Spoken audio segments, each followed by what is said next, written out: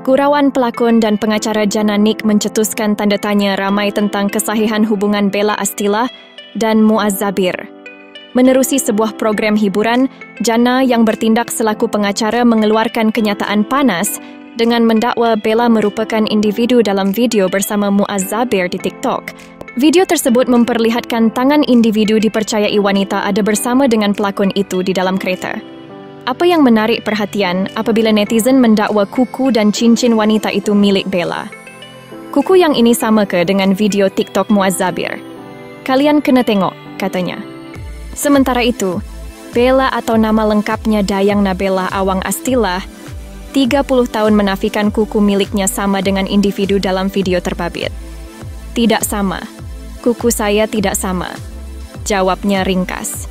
Gurauan tersebut tidak hanya terhenti di situ apabila sekali lagi Jana atau nama lengkapnya Nurul Janah Munir mengatakan Bella tidak tertarik untuk menjalin hubungan dengan golongan VIP kerana sudah mempunyai pilihan sendiri.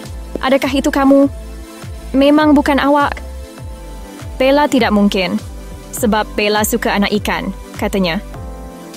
Jun lalu nama Bella dan Muaz kembali hangat diperkatakan apabila kedua-duanya bertemu di sebuah acara buat pertama kali selepas terpalit kontroversi sekitar April.